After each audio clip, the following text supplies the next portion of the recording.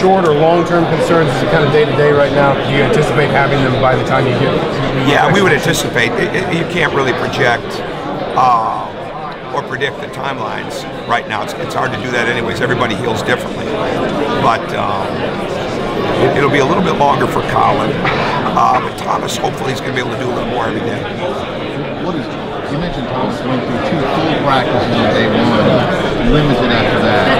Well, just What's just been able to do since um, rehab, and then he started to get on the court a little bit on Tuesday and more yesterday. No contact, five on no shooting drills, things like he, he started doing those shooting drills and um, uh, after practice um, in Baltimore. But we're taking it really slow, and, and uh, it's it's much more precaution than anything else.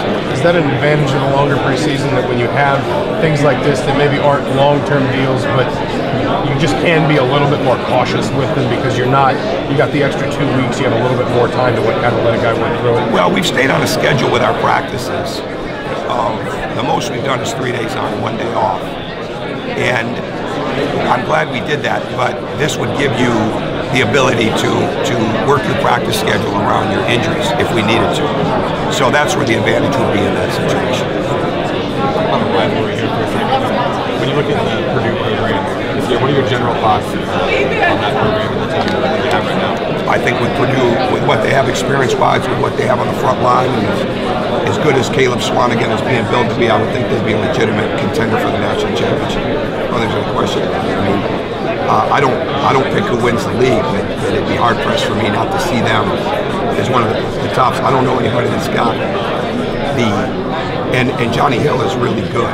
You know, Nick Zeisloff's played in the Rob Johnson's coached, and we know he's a good player. And uh, when you look at the experience they have in their backcourt to go with what they have on the front court, not many programs have the luxury of having somebody like AJ Hammons that some were projecting to leave after year one or year two still be in college.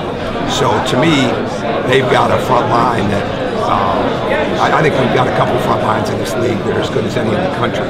And I think the difference right now on paper, going into the season, the upper echelon is going to be determined by the depth of the front lines. That's why our concerns are what they are. But, but uh, Purdue doesn't have those concerns from what I can see. Plus, Vince Edwards can play numerous positions. So they're well coached. Uh, they, they play hard. Uh, extremely disciplined.